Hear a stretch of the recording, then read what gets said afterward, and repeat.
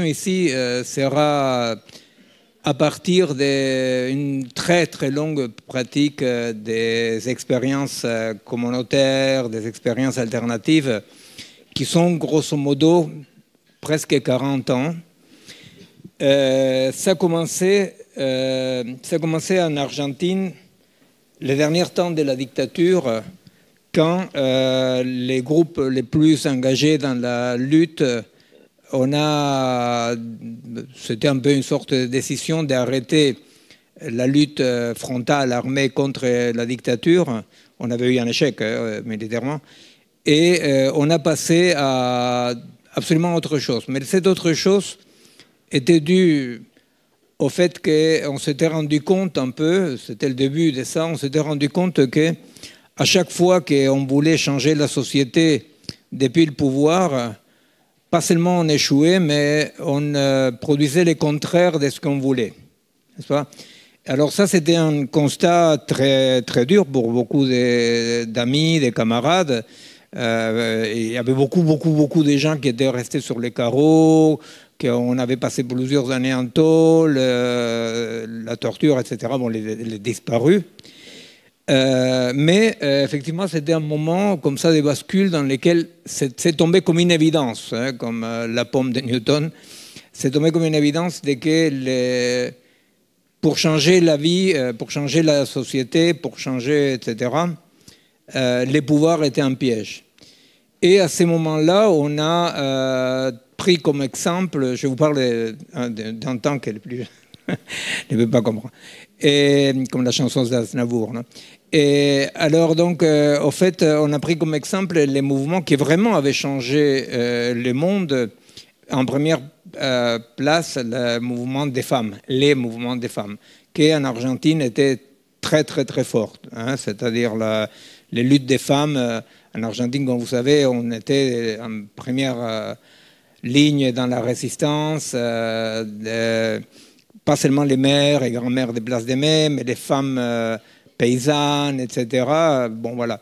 Alors, on a pris comme exemple ça, à un niveau pas seulement latino-américain, euh, mais à un niveau mondial, on se dit, tiens, quel mouvement a changé le monde, justement, sans prendre les pouvoirs? On dit, bon, celui qui est en train de les changer et qui change la face du monde sans prendre les pouvoirs, c'était les mouvements des femmes qui, effectivement, petit à petit, effectivement, avait des répercussions au bout d'un certain temps de construire de nouveaux rapports, de nouvelles modes de vie, avait des répercussions institutionnelles, mais il n'y avait pas cette idée comme ça d'abord on prend les pouvoirs, après on change les choses.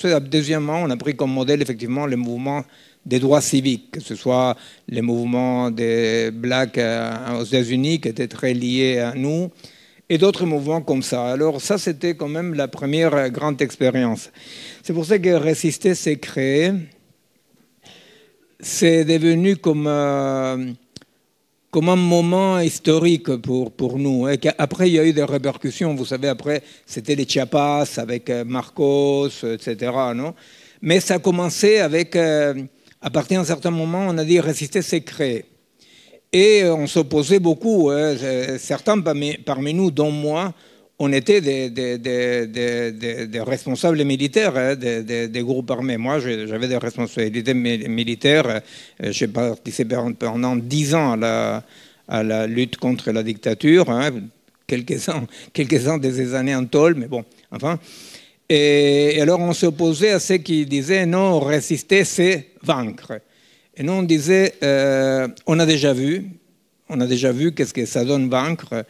On a participé, nous, les groupes, euh, les groupes auxquels moi j'ai participé, les commandos auxquels j'ai participé concrètement. Euh, on avait par exemple au Nicaragua pris les bunkers des dictateurs de l'époque Somos, etc. Et donc on avait vu qu'est-ce que ça donnait. On a vu qu'est-ce que ça donnait l'effet de réciter, c'est vaincre.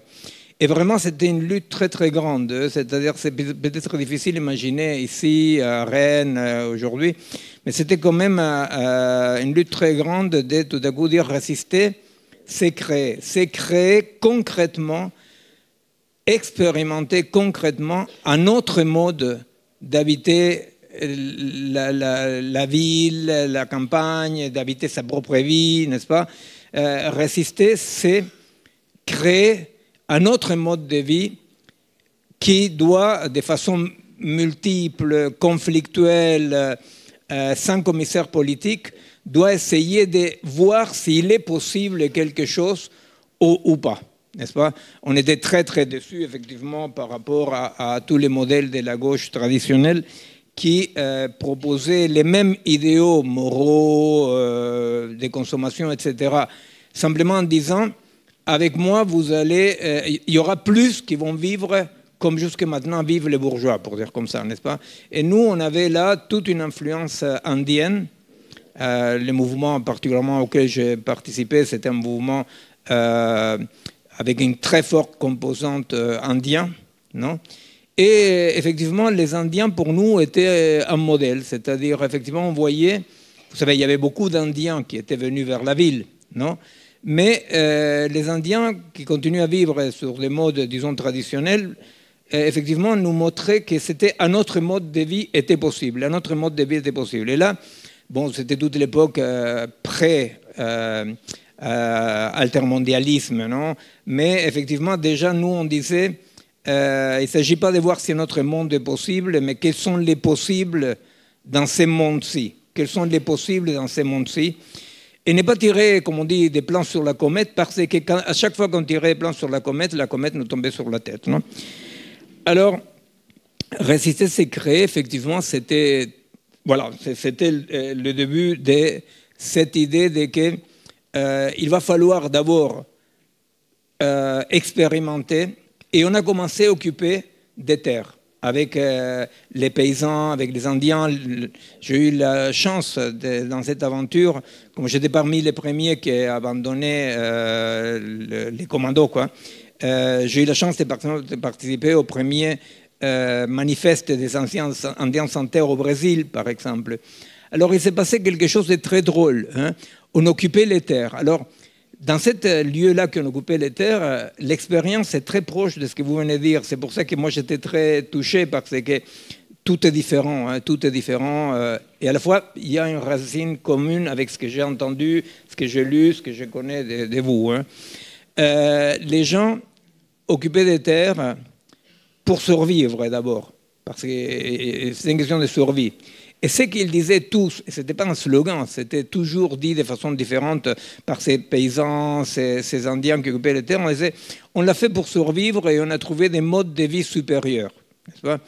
Et alors, j'essaie de vous raconter quelques axes non, euh, qui pour moi sont importants et qu'on peut avoir quelque chose en commun justement.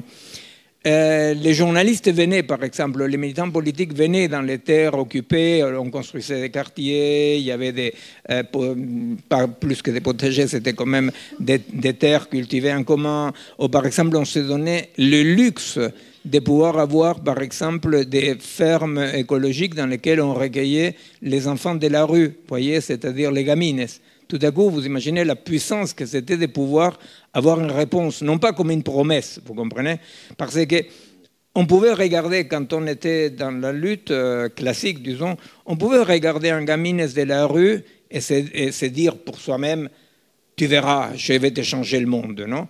Euh, On ne l'a pas fait. Par contre, là, on pouvait se donner le luxe d'avoir euh, une ferme, je parle là où j'ai participé, par exemple, une ferme écologique dans lesquels on recueillait les enfants de la rue. voyez, c'est-à-dire, et on voyait que c'était possible, c'était possible quelque chose d'autre, non? Alors, euh, il arrivait, les journalistes, des militants plus classiques, ils disaient, vous, vous êtes contre la propriété privée? Non, non, disait euh, mais vous voulez que tout toute l'Argentine, euh, l'Uruguay, je ne sais pas quoi, soit comme ça? Non, non, non, non. Disait. mais donc, vous avez un programme? Non, non, non, non, on n'a pas de programme. Et, alors, les autres, ils devenaient un peu barjots parce qu'il euh, n'y avait pas de modèle. Effectivement, il n'y avait pas d'idée. Une chose qu'on avait compris, c'est qu'il ne fallait pas avoir des idées. Il fallait vivre et développer des hypothèses. Ne pas avoir des idées, ça ne signifie pas théoriser la pratique, mais théoriser la, pratique dans un aller-retour théorie-pratique dans laquelle il n'y avait pas des idées qu'il fallait suivre. Bon, ce mouvement s'est développé énormément, vous savez, euh, euh, mais euh, autour des années 2000, avec les Chiapas, avec les insurrections en Argentine, et on a eu des expériences dont on a parlé tous les deux, c'est-à-dire on, a expérimenté ce qu'on appelait une masse critique pour les expériences alternatives. Par exemple, on s'est rendu compte que les expériences alternatives ne pouvaient pas avoir comme euh, modèle de se développer comme la fameuse tache d'huile, vous voyez, que non, qu'il on fallait tenir compte que c'était toujours des expériences euh, restreintes, non restreintes dans le sens petit ou grande, mais qu'ils ne pouvaient pas faire un modèle universel, n'est-ce pas? Et ça, on l'a expérimenté, par exemple, à l'an 2001, quand il y a eu une série d'insurrections en Argentine. Ils sont virés cinq gouvernements de suite. Vous voyez, boum, boum, boum, boum, boum, comme ça. C'était très joyeux.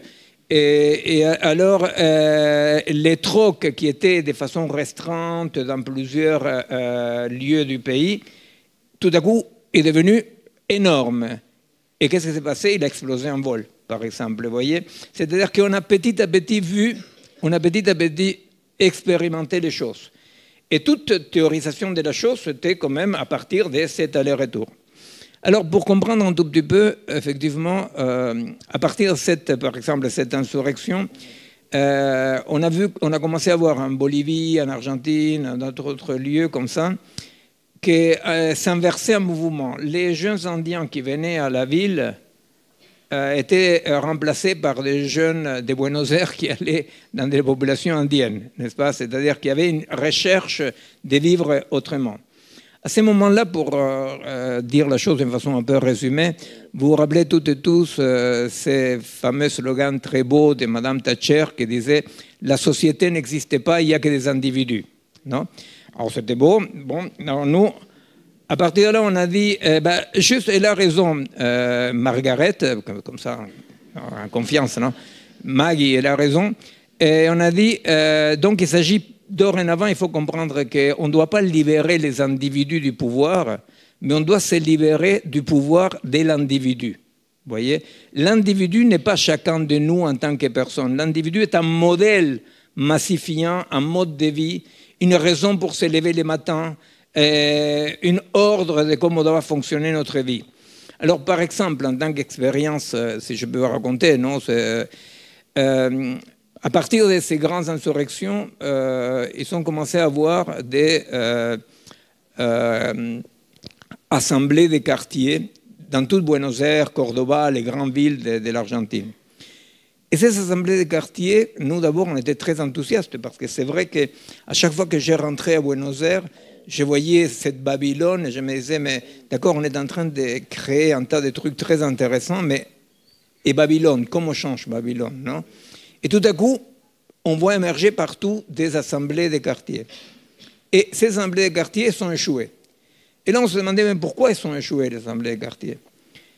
Et vous voyez, les trucs de budget participatif, assemblée des quartiers, etc., etc., sont échoués, toutes. Toutes sont nées, sont, euh, sont développées, sont réabsorbées. C'est là où on a commencé à comprendre qu'effectivement, l'individu est un modèle social, historique, d'oppression, mais que quand on dit individu, on dit un urbanisme, une mode de circulation, euh, une raison de se lever le matin, vous comprenez? C'est-à-dire que euh, l'individu, l'individu, c'était tout ça. Et effectivement, autant dans les zones semi-urbanisées ou dans les campagnes, euh, c'était plus aisé d'inventer, de créer des modes non individuels de vie. Autant dans la ville, effectivement, on s'est trouvé avec la partie, pour ainsi dire, c'est ainsi dire, dur de l'individu, n'est-ce pas? C'est, voilà, il y a des immeubles, il y a des métros, il y a, vous voyez, c'est-à-dire... Alors, à partir de là, on s'est rendu compte qu'effectivement, il s'agissait un tout petit peu comme des enfants, non? De créer des expériences. Alors là, c'est vrai qu'à partir d'un certain moment, moi, j'ai participé beaucoup avec des laboratoires dans la banlieue de Paris, Hein, c'est-à-dire, euh, on a développé des laboratoires, on appelait ça laboratoire dans le sens que ce sont des expériences, des, vies autrement, des liens autrement, n'est-ce pas? Euh, En Italie, dans certaines régions, non? Alors, à partir de là, on s'est rendu compte qu'on était un peu comme des petits enfants qui devaient apprendre à vivre autrement, n'est-ce pas? C'est-à-dire que le formatage de chacun de nous en tant qu'individu était tellement fort, tellement fort, que effectivement l'autre était, comme il a dit un grand anarchiste, euh, il a dit euh, les voisins c'est les bruits et l'odeur, vous vous rappelez? Euh, alors donc, pour ça on a tous voté pour l'anarchiste. Alors effectivement, on s'est dit oui l'autre est les bruits et l'odeur parce que tant qu'on est dans la cage de l'individu, tant qu'on vit dans cette cage de l'individu, n'est-ce pas L'enfer, c'est les autres, comme dirait Sartre, n'est-ce pas L'enfer, c'est les autres. C'est-à-dire que l'autre, c'est lui qui nous enchaîne. Alors, on s'est dit, bon, vous savez, il y a un euh, passage de Spinoza dans lequel il dit les, hommes se sentent libres seulement parce qu'ils ignorent leurs chaînes. Alors, l'interprétation de cela, ça pourrait être de dire c'est vrai, je me sens libre parce que j'ignore mes chaînes. Mais maintenant que je connais mes chaînes, je casse mes chaînes et je suis libre. Et c'est, si vous faites ça au bac, régalé, parce que ce n'est pas la vraie interprétation spinoziste. La vraie interprétation, c'est de dire comment je peux transformer les chaînes en liens, n'est-ce pas? Non comment je peux me délier de l'autre, sinon au contraire, comment je peux expérimenter, expérimenter que je suis un nœud des liens, n'est-ce pas? Que euh, c'est pas que j'ai des liens optionnels. Or, c'est là où il y a une résistance énorme aujourd'hui à développer. Vous imaginez comment toute la nouvelle technologie, tout le niveau de technologie algorithmique, tout le monde cybernétique, nous pousse, nous pousse de plus en plus à être des individus qui ne bougent pas. Non, des individus, on est devenus des profils. On n'est presque plus d'individus, on a des profils transparents, euh, absolument euh, un ensemble d'informations qui circulent. Alors donc, euh, effectivement, la résistance passe par le fait que des corps, des corps réels, dans des paysages réels, puissent expérimenter ces liens comme quelque chose qui va vers la joie, n'est-ce pas? Quelque chose qui va vers la joie. Mais pour cela, effectivement, la question qu'on s'est posée, c'était euh, résister, ça doit être créé, mais en face de nous, on a pas un bulldozer, on a des bulldozers, n'est-ce pas? C'est-à-dire, on, euh, a un monstre del système, c'est-à-dire, c'est pas que euh, petit à petit, en créant des alternatives, un jour, le système va dire Oh, mais comment vous êtes gentil, vous avez raison, on se retire, n'est-ce pas? Non, la vérité, c'est qu'il est très important, et nous, l'avons expérimenté, et maintenant, malheureusement, on l'expérimente avec les fascistes qui euh, en Argentine, je veux dire. Hein. On est encore vendredi. Et, alors, avec les fascistes qui est président en Argentine, Milei, on expérimentait comment euh, toute cette expérience de résistance-création énorme, de myriades d'expériences. Euh, et, dans les quartiers aussi, euh, dans, la ville, on a appris à créer des noyaux. Il y a des noyaux de solidarité théorique et pratique. Je peux vous raconter après comment se développe. Mais on a appris quand même que euh, résister, c'est créer, c'est la fonction fondamentale. Pourquoi? C'est fondamental parce que toutes les forces progressistes, révolutionnaires, sociodémocrates, etc., peu importe, tous les projets d'un monde alternatif allaient dans le sens de ce que Margaret avait dit, il n'y a pas d'alternative, n'est-ce pas? Et de plus en plus, on est dans un monde dans lequel on, existe de moins en moins et on fonctionne, on veut tous fonctionner, n'est-ce pas? On a changé des questions sur l'essence de la vie pour des non-questions de je fonctionne bien, je fonctionne mal, n'est-ce pas? On est en permanence en train d'évaluer non? Combien de pas j'ai fait en rentrant du boulot, euh, euh, combien de fois je respire, rien. Vous voyez, on est tout le temps en train d'évaluer. Or, ce n'est pas par hasard, ce n'est pas qu'on est devenus tous très stupides. À vrai dire, euh, les projets de changement social comptaient tous sur un paradigme que malgré les différences était unique. était la promesse d'un futur meilleur, n'est-ce pas? C'était la promesse euh, marxiste, hegelienne, mais même positiviste, de que l'histoire avait un sens. L'histoire a un sens, euh, et ce sens-là va vers, euh, dans un sens un peu millénariste, vers le paradis sur Terre, n'est-ce pas? Ces futurs-là qui ordonnaient toutes nos pratiques, toutes nos pratiques. Ce n'était pas que politique. Moi, quand j'ai commencé à faire médecine avec Hippocrate, non euh, grosso modo, eh bien, si on me disait qu'est-ce que tu penses du cancer, je disais, bah, dans l'an 2000, les cancers seront un souvenir. Or, vous voyez, c'est-à-dire, je veux dire par là que tout le futur était promesse, tout le futur était promesse. Ce n'est pas le monopole des militants politiques de dire demain on va raser gratis. Toutes nos sociétés occidentales, coloniales, patriarcales, étaient orientées vers c'est on doit un jour arriver à. À tel point que dans le mouvement décolonial latino-américain, un peu comme cri, on dit euh, le monde occidental ressemble à une salle d'attente, n'est-ce pas? Parce qu'on euh, passe la vie à attendre. Non? Euh, demain, ça sera demain. Eh bien, cette demain qui, qui ordonnait les futurs et nos vies quotidiennes, eh bien, pas seulement s'est cassé la gueule, mais il est devenu son contraire. Il est devenu une menace. On a tous peur. Et on a raison d'avoir peur, d'une certaine façon, on a raison, hein, c'est-à-dire euh, euh, les choses vont mal. Alors, effectivement, il ne s'agit pas simplement d'une autre méthode, vous comprenez, il ne s'agit pas simplement de dire résister, c'est créer, c'est une autre méthode que résister, c'est lutter ou prendre le pouvoir. Il s'avère que tous les paradigmes d'émancipation qui comptaient sur on lutte aujourd'hui et demain on vivra mieux, il se heurte au mur d'un futur qui est devenu menaçant, fermé, imprédictible. Alors, la question, elle est beaucoup plus profonde que ça, vous comprenez?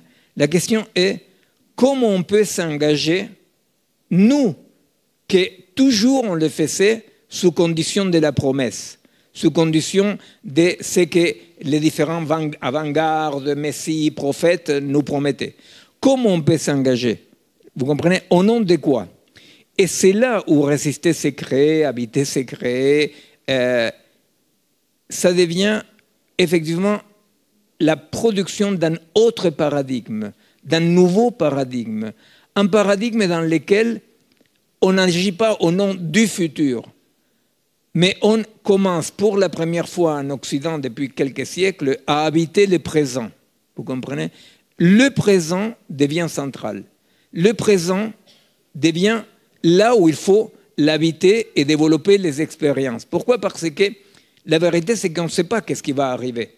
On ne sait pas qu'est-ce qui peut arriver. Par contre, on sait qu'arrive quoi qu'il arrive, si nous sommes capables de développer des expériences différentes, des modes d'habiter le monde différents, des modes de solidarité différents, si nous arrivons à être un peu moins individus, arrive quoi qu'il arrive, au moins on pourra assumer ce qui arrivera. Vous comprenez? C'est là où pour nous, résister, c'est ce n'est pas une formule euh, dans un magasin, dans un supermarché, pardon, des, euh, des engagements. Non, résister, c'est expérimenter qu'on peut être autre chose que des individus, n'est-ce pas? Expérimenter que nos liens sont des liens qui ne sont pas simplement des liens humains, n'est-ce pas? Expérimenter que Contrairement à les Descartes qui voulaient qu'on soit maître et possesseur de la nature, on est un vecteur parmi d'autres de la nature. Apprendre qu'on n'était pas seul, voyez? Eh bien, tout ça, c'est les expériences que nous devons aujourd'hui développer. Alors, effectivement, je reviens là-dessus.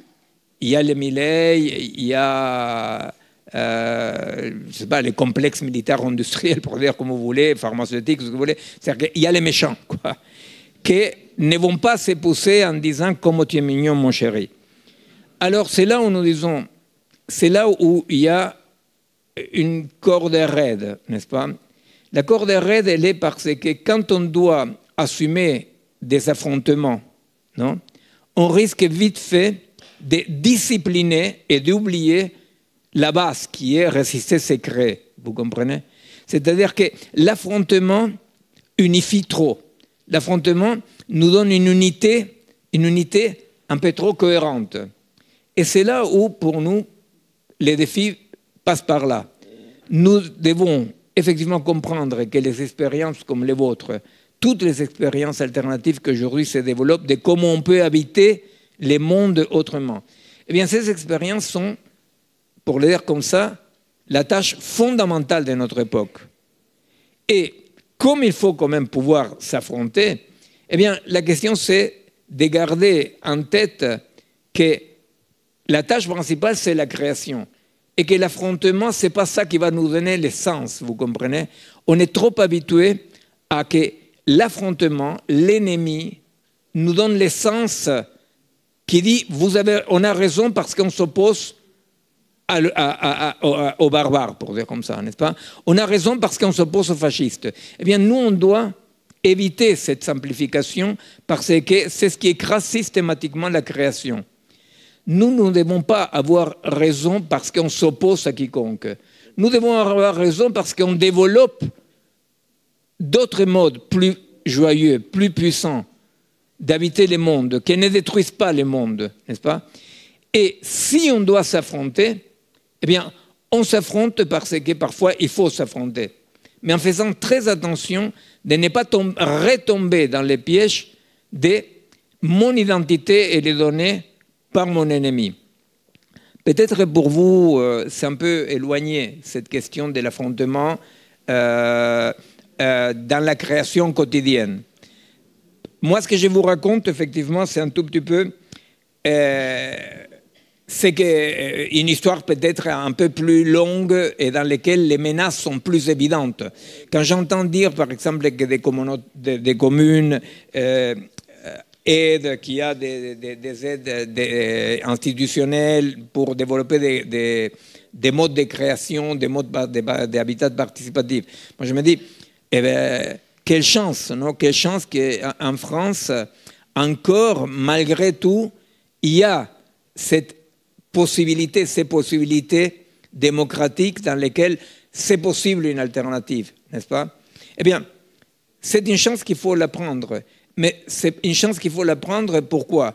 Y compris pour expérimenter des choses que peut-être ceux qui sont en première ligne ne peuvent pas faire, vous comprenez?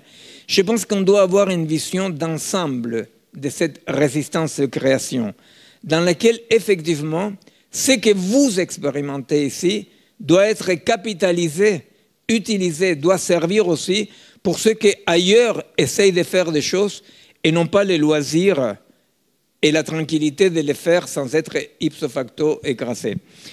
J'avais dit à Samuel que je voulais un tout petit peu euh, profiter pour euh, discuter un tout petit peu avec vous. Alors, je vais dire juste un dernier mot. Euh, à vrai dire, c'est un, point que j'ai discuté avec Samuel. Euh, résister, c'est créer, ça signifie justement créer des pratiques concrètes, quotidiennes, non qui n'ont pas besoin de la conscience pour agir, vous comprenez? Il s'agit de créer une autre évidence, vous comprenez? De la même façon qu'aujourd'hui les individus ont l'évidence de pourquoi ils s'élèvent les matins, pour être performants, pour gagner des sous, pour écraser l'autre, pour avoir une voiture plus grande que le voisin, toutes ces évidences, c'est joli, n'est-ce pas? Eh bien, nous devons construire des évidences, des évidences que c'est comme créer une sorte d'aliénation alternative. Je l'ai dit de façon provocatrice, vous voyez, mais créer quelque chose dans lequel, justement, les modes de vie qu'on a, n'est pas un mode de vie dans lequel je dois tout le temps être en train de penser comme un boy scout, euh, je dois bien agir. Non, qu'on expérimente que c'est plus joyeux, que c'est plus beau, et qu'on le fait pour ça, vous comprenez? Alors, euh, ça semble un peu bizarre parfois, pas à vous peut-être, mais ça semble ailleurs très bizarre de dire que dépasser la cage de l'individu pourrait devenir un ça va de soi. Or, on a bien vu, par exemple, une fois encore, avec le mouvement des femmes, qui est né avant-hier dans l'histoire de l'humanité, n'est-ce pas? Comment est devenu une évidence que les femmes occupent tous les postes qu'elles occupent, n'est-ce pas? Et personne s'étonne. Vous comprenez? C'est-à-dire, c'est ça que je vais donner comme évidence. Une évidence, ça veut dire que c'est lui qui s'élève les matins dans une expérience, entre guillemets, alternative dans un quartier en autogestion, dans les terres occupées par les paysans. C'est lui qui se lève le matin, il n'a pas besoin de tout le temps se dire je suis en train de construire un monde meilleur. Vous comprenez? Non. Ça lui semble évident que c'est plus joyeux que la vie de l'autre pauvre là qui euh, ne pense qu'à son nombril. après, bon, une minute alors, je, je voulais donner un exemple, excusez-moi, un exemple que je ne vais pas oublier, par rapport à la conscience. Un jour, euh, il y a très très longtemps, heureusement, depuis je suis devenu moi con, et j'étais dans, dans, une terre occupée par des paysans, un truc très, très, très, très puissant dans la localité de Moreno, dans la province de Buenos Aires. Et c'était une assemblée et on me recevait parce que je venais dans notre lieu, alors euh, j'étais un peu l'invité. Et alors tout à coup, il y a un mec qui demande la parole et il dit euh, Ouais, le problème qu'on a dans notre société, c'est dû aux femmes, parce que les femmes ne sont plus au foyer, elles ne veulent pas faire d'enfants. Alors moi, je demande la parole et je dis tout ce qui est correct de dire. Que non, que les féministes... Alors, il y a une pause, il vient une jeune indienne qui avait 18-19 ans maximum, il me dit Qu'est-ce que t'as merdé, Miguel? Ah bon? Et ouais, tu sais, ces mecs-là, ça fait des mois qu'on l'approche pour qu'il sorte de sa petite maison, parce que sinon il vit là en train de se saouler la gueule, insulter tout le monde. Alors nous, on va, on s'en fout de ce qu'il dit, on l'invite à venir avec nous petit à petit, n'est-ce pas? Et alors là, ces jours-là, j'ai compris, comme ça, tac, non, une mutation, la différence entre la vie et les idées. je, je, je vais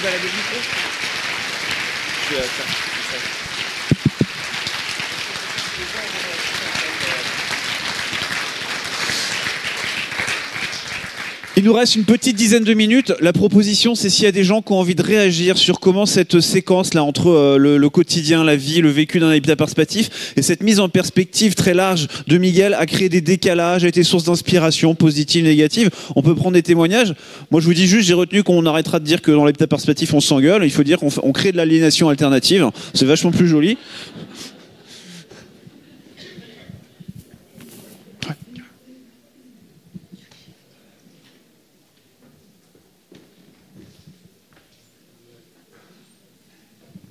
Faut toujours qu'il y ait quelqu'un qui commence. Euh, je me demandais si vous aviez un avis sur la création des coopératives en Uruguay. Euh, donc, il y a eu quand même 530 euh, coopératives qui ont pu être créées dans les 50 dernières années. C'est une lutte permanente, mais néanmoins, ils créent. oui.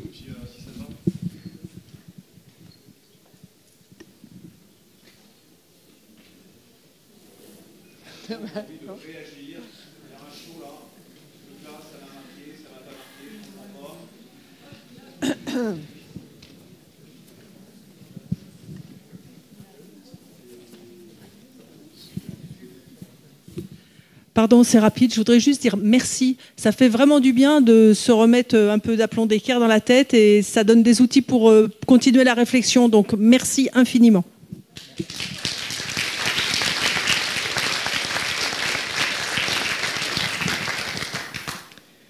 Je ne pense pas me tromper en vous disant que quand vous dites que historiquement ce fut les mouvements des femmes qui ont fait avancer les choses, tout à l'heure j'ai compté dans le groupe où on était, il y avait 31 personnes, il y avait 5 hommes. Si vous regardez l'assemblée, il y en a quelques-unes quand même.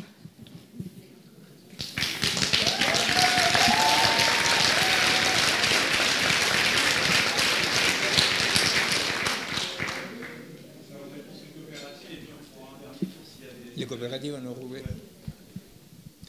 Et, au fait, en Uruguay, il y a une longue histoire des mouvements coopératifs, très très longue, non?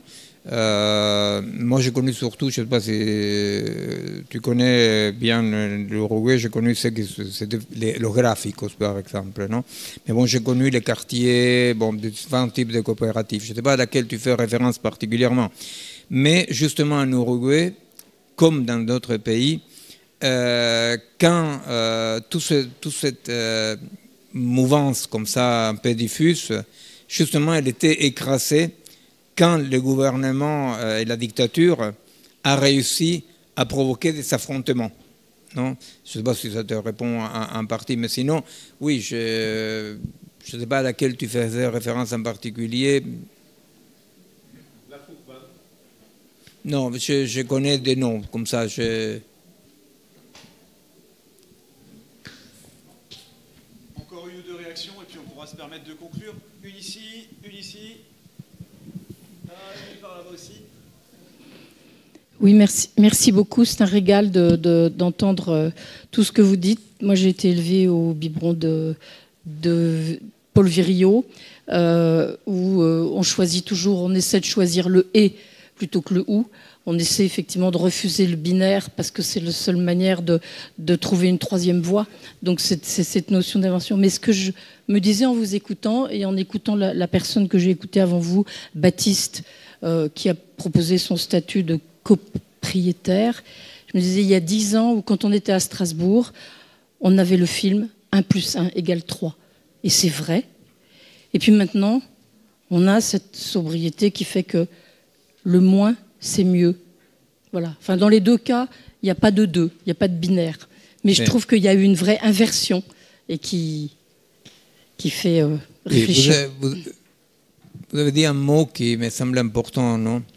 Nous, nous savons tous et toutes que euh, la sobriété et la rareté sont notre destin, mais c'est déjà là. Hein. Vous savez que ça fait trois ans qu'à Barcelone, il n'y a pas d'eau. Il arrive de l'eau en bateau de Marseille. Euh, alors la, la, rareté, la sobriété, c'est notre fatalité. Eh bien justement, moi je pense que c'est là où c'est pas viable le monde des individus. Parce que le monde des individus, c'est que euh, chacun pense à soi, n'est-ce pas? De, façon massive, chacun pense à soi. Eh bien, ce monde-là est le monde inévitablement de la guerre. Il y aura ceux qui auront encore et ceux qui seront écrasés. Alors justement, moi je pense que nos types d'expériences sont celles qui permettent de, de vivre une sobriété joyeuse, c'est-à-dire que, eh, par exemple, ça c'est un des défis fondamentaux. Un défi fondamental, c'est de dire, eh bien, euh, si, c'est vrai qu'on n'a pas besoin de consommer de cette façon-là. Et je pense que, euh, voilà, parmi euh, les dépassements de cette cache de l'individu, c'est parce que c'est pas viable. C'est pas viable. Alors, comme c'est pas viable, ce qu'il y aura, c'est que bah, il va falloir qu'il y ait des frontières, des mecs qui tirent à la frontière. Il va, euh, ou, bien, ou bien nous pouvons tenter d'expérimenter, expérimenter des modes de vie dans lesquels il y a une sobriété qui est joyeuse. Vous comprenez? Ce sont des images identificatoires. C'est-à-dire, quelle est l'image identificatoire dans laquelle je me sens bien? Voyez? Est-ce que je me sens bien en consommant patatim patatin? Ou est-ce que tout à coup je trouve plus joyeux d'être un peu moins con, par exemple? C'est un, objectif. Non moi, il y a deux ans, ils m'ont invité à Belle-Île et euh, il y avait, euh, tout à coup, je vois qu'il y avait une piscine et une transat, non Une transat. Et alors, j'ai vu qu'il n'y avait personne, alors je, suis allé chercher un jus de fruits et je me suis allongé dans la transat avec le jus de fruits à côté de la piscine et j'ai dit, Bon, euh, là, je dois être heureux, non? Parce qu'il y a quand même des milliards de personnes qui n'ont pas de piscine, ni de jus de fruits, ni de transat. Là, je dois être heureux. C'était un échec, alors je, je continue. Euh, bonsoir. Merci pour euh, tous ces mots. je voulais surtout avoir votre réaction et donner un conseil lecture qui résonne beaucoup avec, avec ce, que, ce que vous nous avez partagé. C'est un, livre qui s'appelle Bolo Bolo c'est pour moi euh, un livre qui m'a permis de, basculer un peu dans, dans cette frugalité heureuse. Euh, c'est un livre qui est disponible euh, gratuitement partout, qu'on trouve en PDF ou qu'on peut acheter dans les librairies. je, voulais savoir si, si c'était une lecture que, que vous aviez eue, puisque finalement c'est des lectures, enfin c'est un, c'est un écrit qui existe depuis les années 60, je crois aussi, plutôt en Suisse, sur les premières coopératives suisses. Euh, si c'est quelque chose qui vous a, qui vous a aussi euh, nourri, sinon, euh, ben, je vous propose je à les tous de- de, pouvoir lire. Je, Ouais. je les lirai. Non, je ne connaissais pas. Ok, bolo bolo. On prend encore les deux interventions des bras qui s'étaient levés et puis on arrêtera pour tenir le, timing. Je suis désolé. Et en bas, je vais faire passer le micro.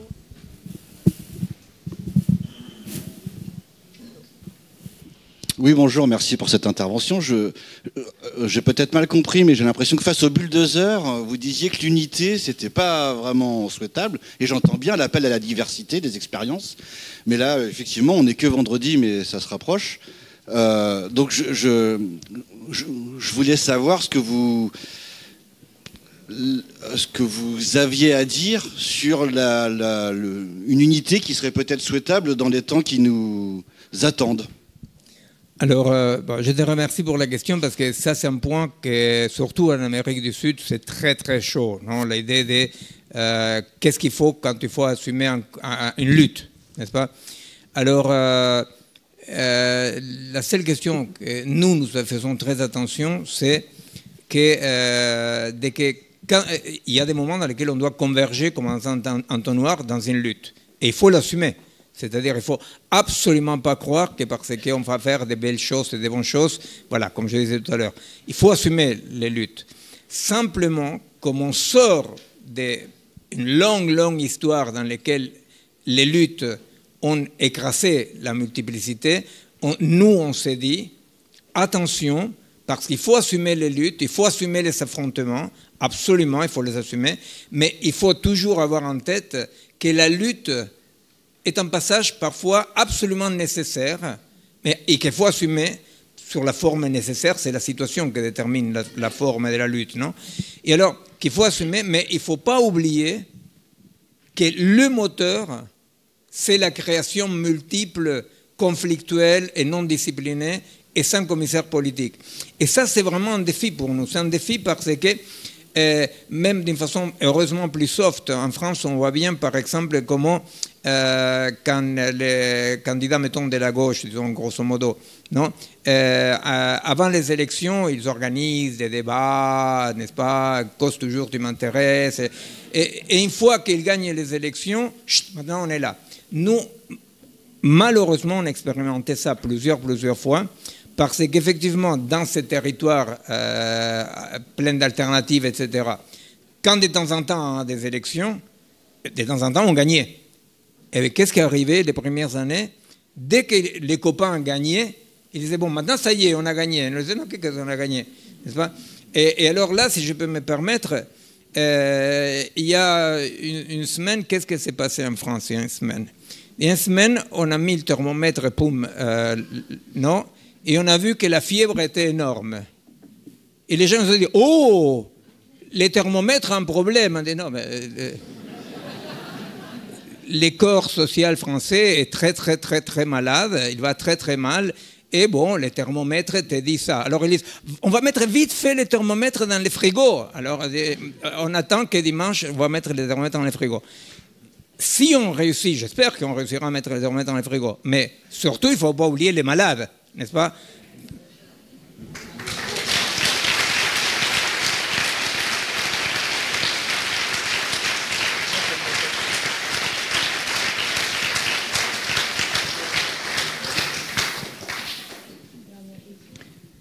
Bonjour Miguel, merci beaucoup pour l'intervention.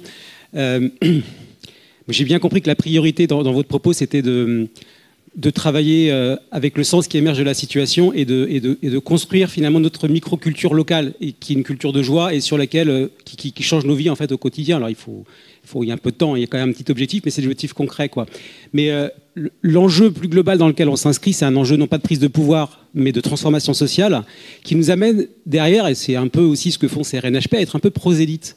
Et est-ce que finalement, est-ce que ce, prosélytisme de notre mode de vie qu'on expérimente, est-ce que ça, ça, c'est en phase avec votre propos? Est-ce que finalement, on ne revient pas dans un objectif de euh, ce monde demain, si tout le monde fait comme nous, on va réussir à le transformer et on va remplacer le méchant capitalisme par nos gentils habitats groupés? Est-ce que c'est une bonne stratégie, en fait, d'être- euh, prosélyte et d'aller dans les quartiers pour essayer de proposer aux quartiers populaires de faire la même chose que nous, ou d'adapter? Ou est-ce que finalement, il faut se centrer finalement sur notre vécu euh, personnel? Oui. Alors, je te réponds. Euh, il y a 25 ans, 30 ans, à Francfort, il y avait euh, une myriade de petites expériences de communautés et qui, ils appelaient même Danny Combendit, avait fait un bouquin qui s'appelait Vive autrement, je sais pas quoi. Et c'était absolument étanche, tu vois. Des gens très sympathiques, moi j'étais très content d'aller, c'était très très agréable, les gens très sympathiques vivaient entre eux d'une autre façon. Mais c'était absolument étanche, n'est-ce pas? Il n'y avait pas un Turc qui était au courant, pour le dire euh, comme ça, tu vois.